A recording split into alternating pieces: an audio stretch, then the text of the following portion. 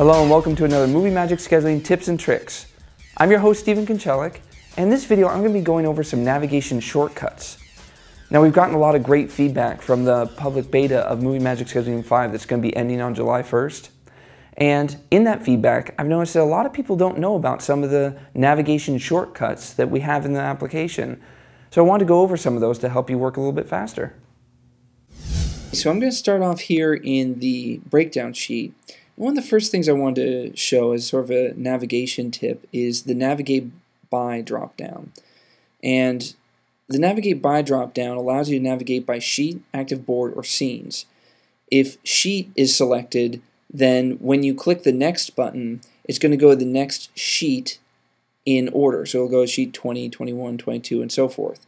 If active board is selected, when you click the next button, it will go to the next strip that's uh, on your strip board and the associated breakdown sheet associated with that.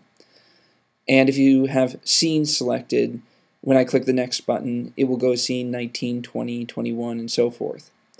So I'm going to leave it on active board. And so therefore, um, as I'm navigating around, it's navigating to the next sheets that are uh, in the order of the strips on the current strip board. Now, if I want to get to the strip board, uh, what a lot of people do is they go up to Schedule, uh, Strip Order, hit Command U.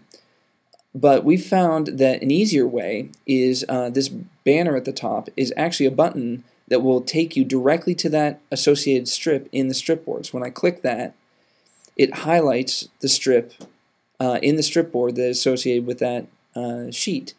Now, where that really comes in play, I'm going to double click the strip to get back to the breakdown sheet, is uh, if I am navigating by, let's say, sheet, um, you know, if I go to sheet 12, well, that's on day number 18. So when I click on this banner, it's going to take me directly to that strip in the strip board. And notice it's more towards the middle of the strip board. So I don't have to go hunting for it. I can go directly to it by clicking on the big strip at the top. Let me go back to the uh, strip board and there's some navigation tips around here also. And one of those is that if I right click on any strip, you'll notice there's some contextual menu items here that will help you uh, insert banners and day breaks, but there's also some navigation things here. Go to in the Go To menu, you can go the first strip, the previous strip, next strip, and there's keyboard shortcuts for all this, and one of them is the Boneyard. So uh, I'm going to click off of here, and if I hit Command 5, and you can substitute that with Control 5 on Windows, it'll bring up the Boneyard window. And if you notice, they're very similar, you know, looking in terms of, you know, layout and buttons and everything.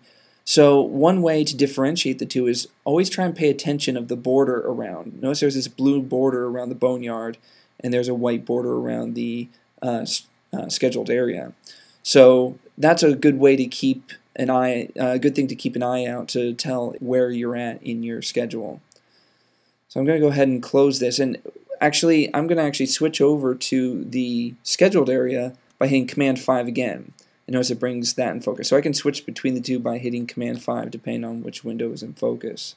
And one last thing is that, again, if I right click, you can actually change your active strip board using keyboard shortcuts or selecting one of these menu items. So notice here we have previous strip board and next strip board, and that's Command 9 and Command 0.